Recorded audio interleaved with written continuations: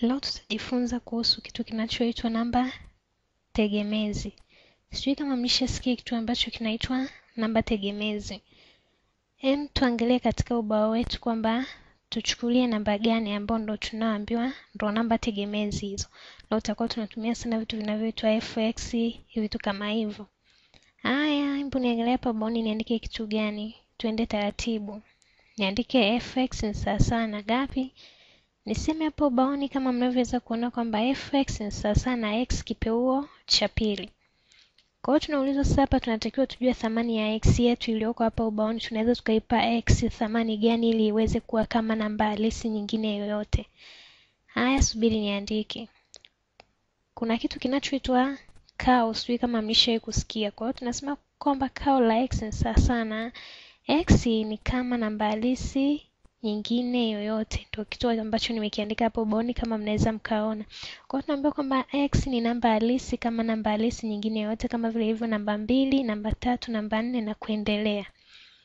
Tuendelee taratibu katika hizi hesabu za namba tegemezi, mtaelewa vizuri. Hebu nichukue mfano hapa tena niendelee kufanya kitu ambacho kinaeleweka.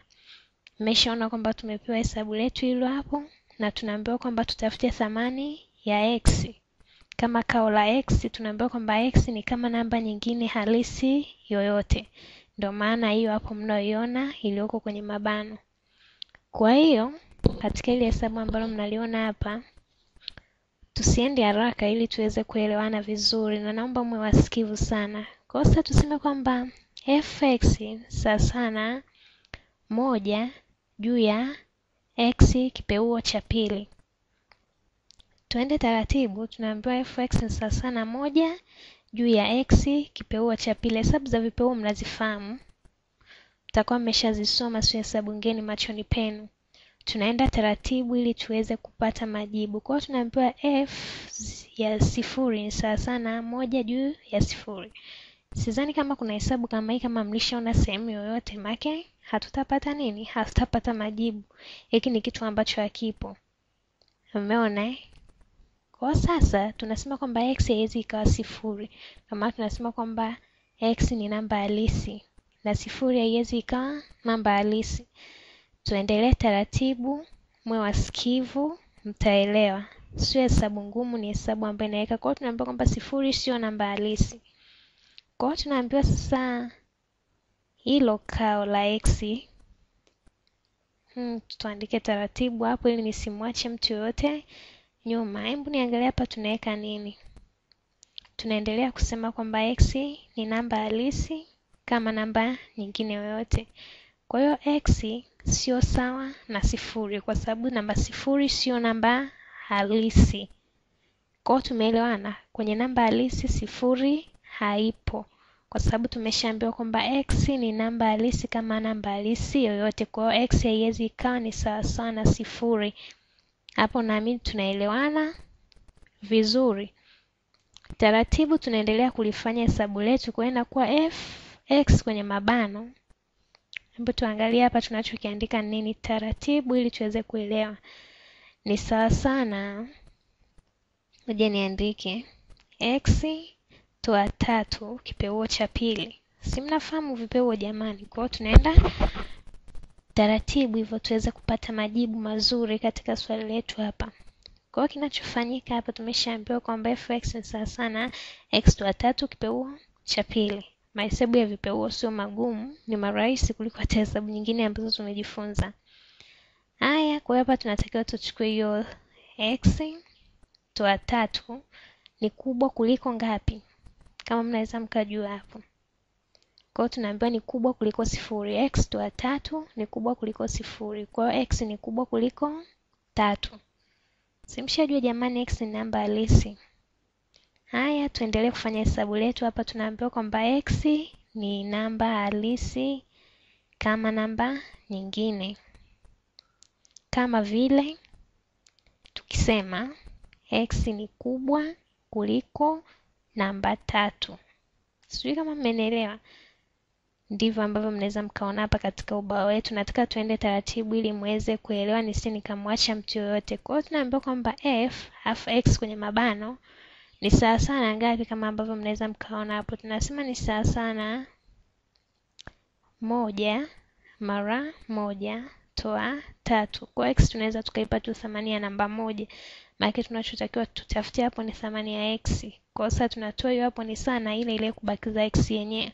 Kwa moja x mara moja, moja mara moja toa tatu ni kubwa kuliko sifuri. Simeelewa jamani? Maana nimesema sifuri sio namba halisi. Kwa moja mara moja ni kubwa kuliko tatu. Hebu tuendelee, mnaelewa hizi hesabu vizuri hapa. Mwisho utapata majibu ambayo yote hata wote mtaridhika. Tunaendelea taratibu, kwa hiyo tunasema kwamba x yetu ile sasa ambayo tumeambiwa tutafutia thamani yake ni ndogo kuliko hasi tatu, au tunaweza tukasema kwamba x yetu ile ni kubwa kuliko tatu. Kwa x ni ndogo kuliko tatu. Mm-hmm. Kama mnavyoweza kuona hapo taratibu kama mlivyoweza kuona katika swali letu hapo.